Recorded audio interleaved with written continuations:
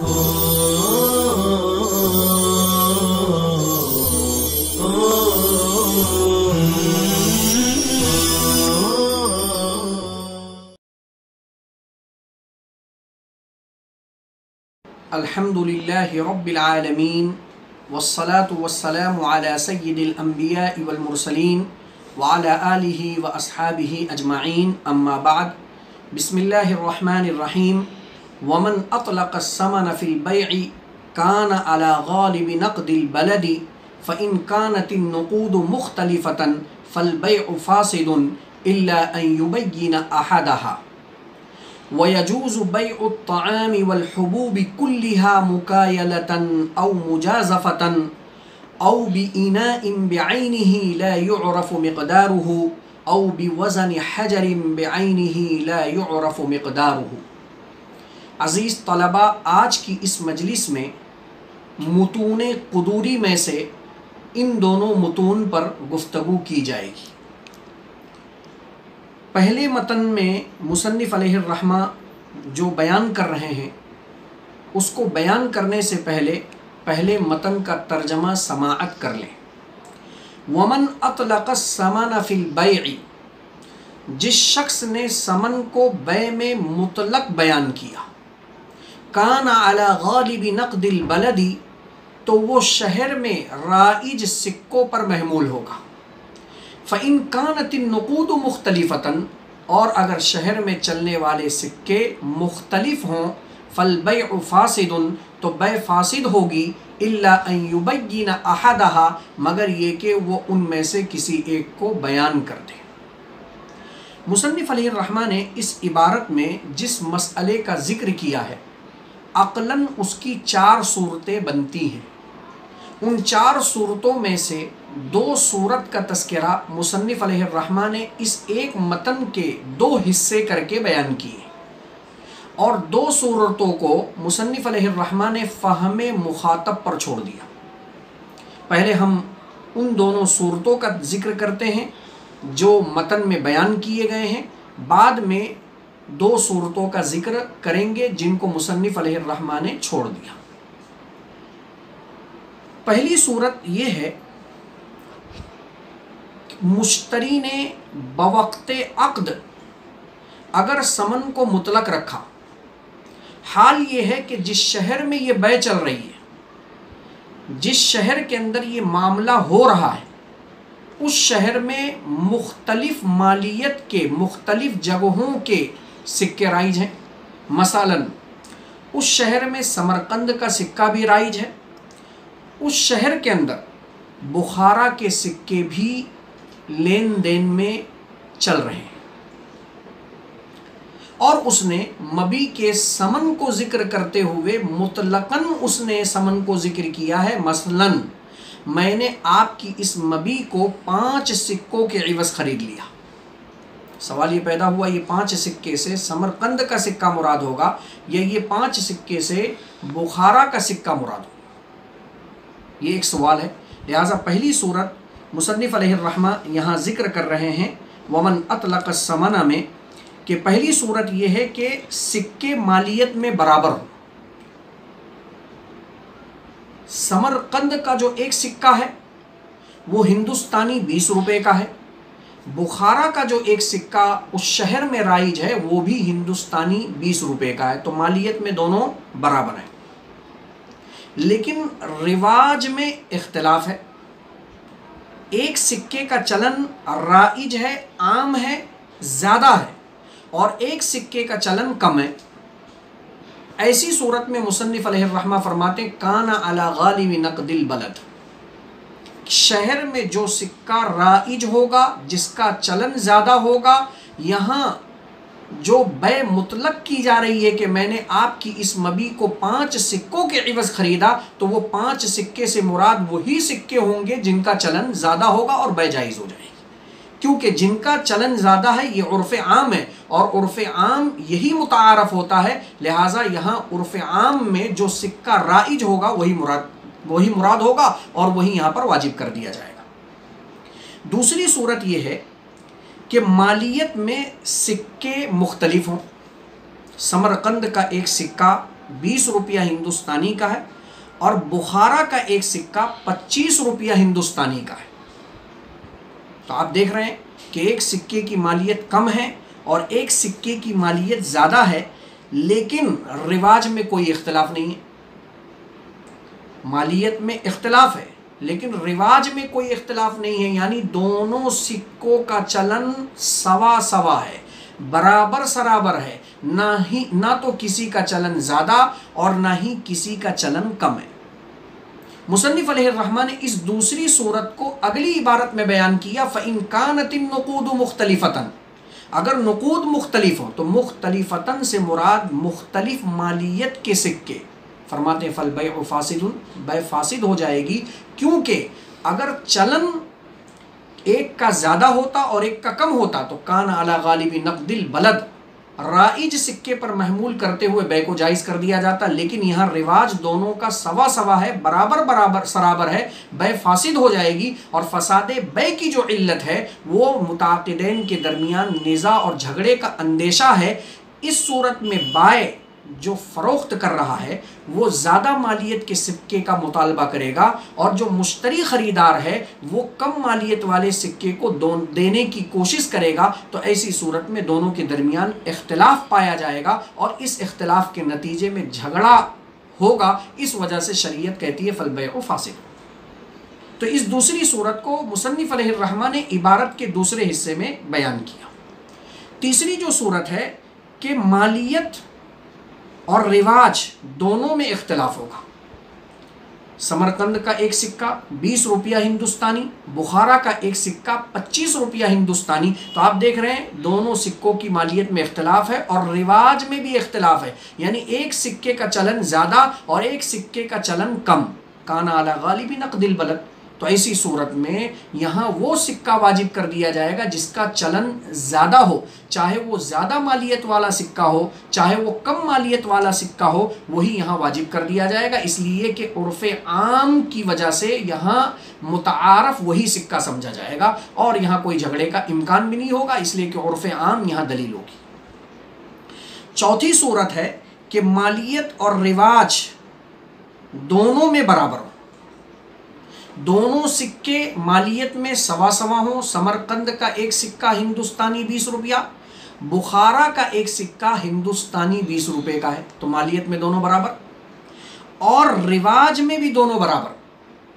यानी दोनों का चलन सवा सवा है। ना तो किसी का ज़्यादा और ना तो किसी का कम। तो ऐसी सूरत में मुतलक सिक्के को ज़िक्र करने से भी बय हो जाएगी। इसलिए कि जब मुश्तरी ने ये कहा कि मैं आपकी इस मबी को पाँच सिक्के के अवज़ ख़रीदता हूँ, समरकंद का सिक्का भी हिंदुस्तानी बीस रुपए की मालियत रखता है। बुखारा का एक सिक्का भी हिंदुस्तानी बीस रुपए की मालियत रखता है। तो दोनों सिक्कों में से चाहे कोई भी सिक्का वाजिब करो, इसलिए कि मालियत जब एक जैसी है तो यहाँ निज़ा का कोई इम्कान नहीं है, झगड़े का कोई अंदेशा नहीं है। इस वजह से मुतलक सिक्के को ज़िक्र करके यहाँ बै दुरुस्त हो जाएगी। तो ये चार सूरतें थीं, जिनको मुसनफ़ रहमान ने इस इबारत में बयान किया। अगली इबारत वयजूज़ बैआमी वलहबूबी कुल्लिहा मुकायलतन औ मुजाजफ़तन औ बिना इन बेआनी ला युरफ़ मकदारुहु औ बिवज़न हजर बेआनी ला युरफ़ मकदारुहु तर्जमा समाअत करें खानों और दानों की बै करना जायज़ है तमाम गल्ला जात तमाम दानों की बै करना जायज़ है, मुजाजफ़त मुकायलतन कैल करके। औ मुजाजफ़तन, या अटकल अंदाजे अंदाजे से। औ बीना इन बेआनी ही या ऐसे मुतन बर्तन के ज़रिए ला युरफ़ मकदार हो जिसकी मकदार मालूम ना हो। औ बिवज़न हजरिन बेआनी या ऐसे मुतन पत्थर के वज़न के ज़रिए लारफ़ मकदार हो जिसकी मकदार मालूम ना हो। मुसनफ़ रहमा ने इस इबारत के अंदर ये ज़िक्र किया कि जो मबी सामने मौजूद हो, और गल्ला और खान, खाने की जिन्स से हो, बशर्ते के हम जिन्स गल्ला जात की बै ना हो। गंदुम देकर गंदुम ना लिया जा रहा हो। चावल देकर चावल ना दिया जा रहा हो। इसलिए कि ऐसी सूरत में अटकल से बै करना ये सूद होगा, इसलिए कि कमी बेशी का इम्कान है। खिलाफ जिन्स में हो, गंदम देकर चावल ले रहा है या पैसा देकर चावल ले रहा है तो ऐसी सूरत में वो दनानीर और दना दराहिम ना हो, आसमान के कबील से ना हो, और अगर गल्ला जात हों तो हम जिन्स का तबादला ना हो, बल्कि खिलाफ जिन्स का तबादला हो तो मुसनफ़ रहमा उसकी चार सूरतें यहाँ ज़िक्र कर रहे हैं।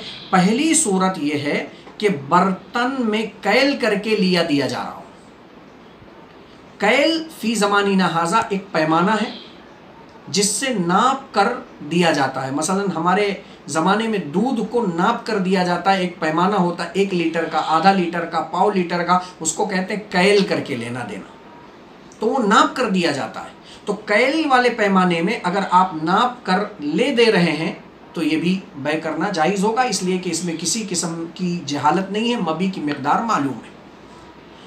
और मुजाजफ़तन, या वो बै अटकल से हो रही हो, अंदाजे से आप बय कर रहे हों ज़ाहिर सी बात है, जब अंदाजे से बै की जाएगी तो मबी की मकदार मजहूल होगी। लेकिन चूँकि मुतादैन उस पर राज़ी हैं, इस वजह से निज़ा और झगड़े का इम्कान ना होने की वजह से अगरचे मबी की मकदार मजहूल है, लेकिन फिर भी अटकल से बै करना जायज़।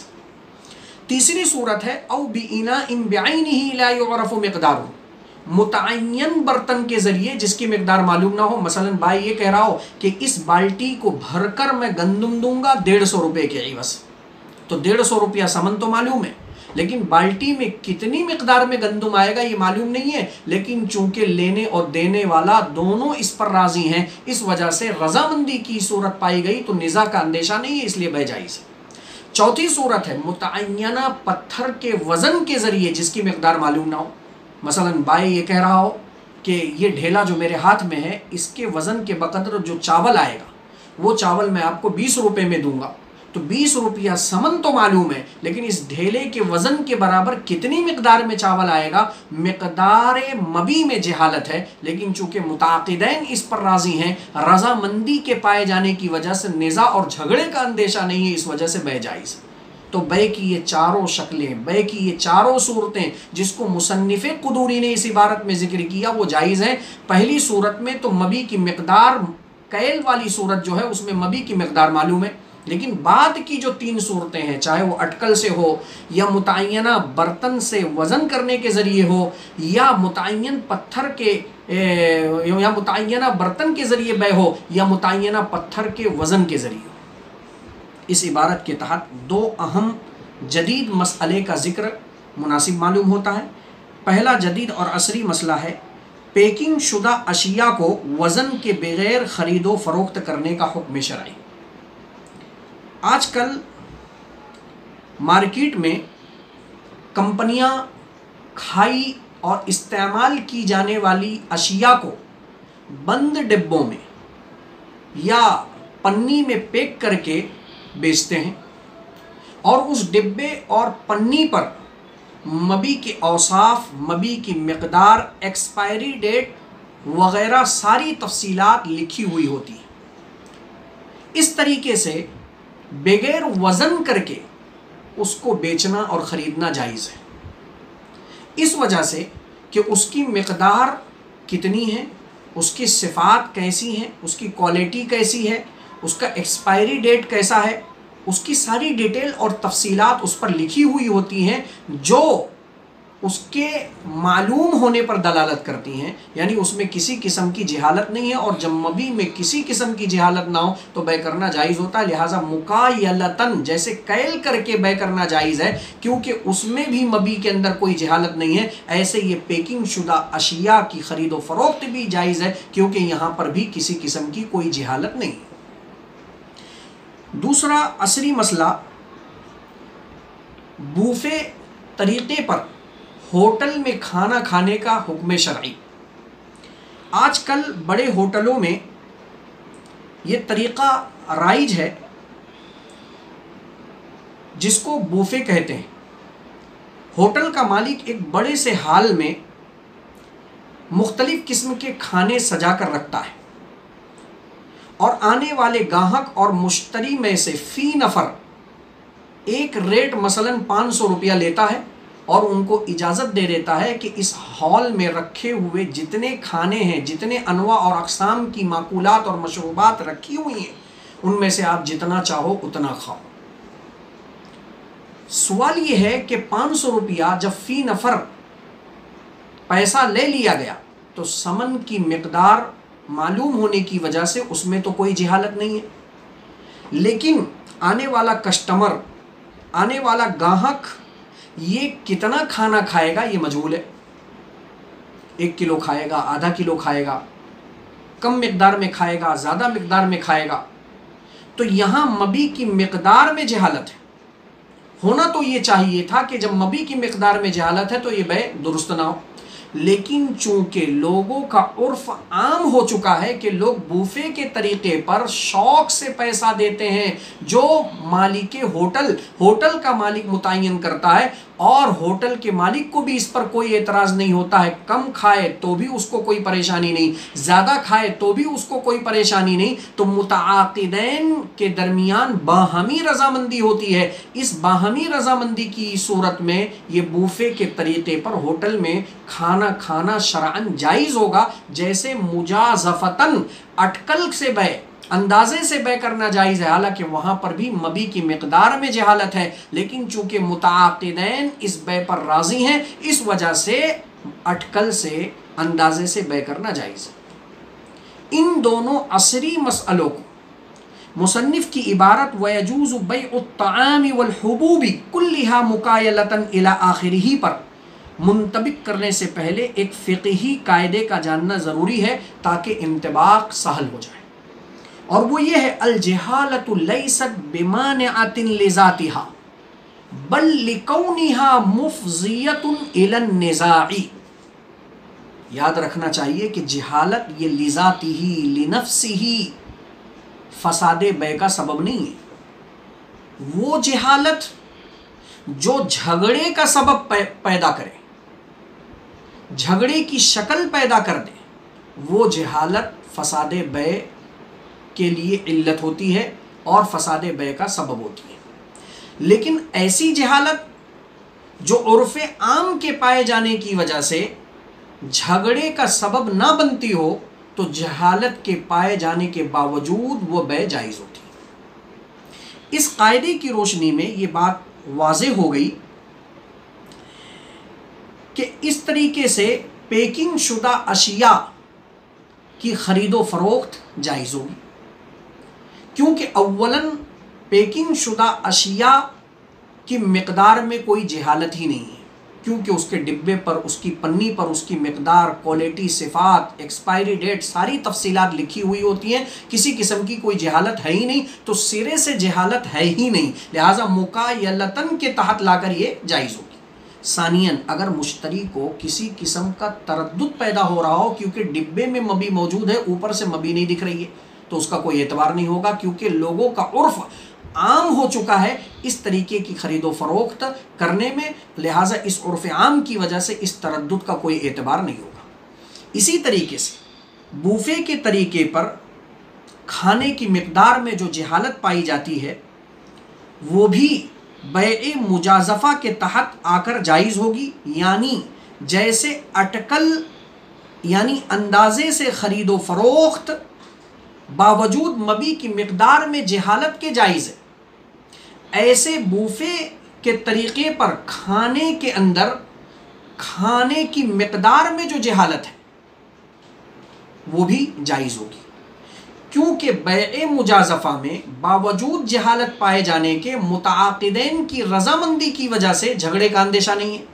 ऐसे बूफे के तरीक़े पर खाने की मकदार में जो जहालत है उस जहालत के पाए जाने के बावजूद आकिदैन की रजामंदी है। लिहाजा आकदेन की रजामंदी की वजह से झगड़े का अंदेशा नहीं है और कायदा अभी अभी हमने आपके सामने ज़िक्र किया अल जहालत बिमान आतिन कि जहालत ये लिजाती ही लिनफ्स ही फसाद बे का सबब नहीं है। फसाद बे की, की इल्लत नहीं है बल्कि वो जहालत बे को फासिद करती है जो झगड़े का सबब बने और वो जहालत बे को हरगिज़ फासिद नहीं करेगी जो झगड़े का सबब ना बने। तो यहाँ बूफे के तरीक़े में खाने की मकदार में जो जहालत है, मुताक़दैन की रजामंदी की वजह से उसमें झगड़े का अंदेशा नहीं है। लिहाजा इस जहालत के पाए जाने के बावजूद ये बे जायज़ होगी। इसी के साथ में हम अपने सबक का अख्ताम करते हैं। इन आइंदा मजलिस में मुलाकात होगी। असलकम वरहमल वर्का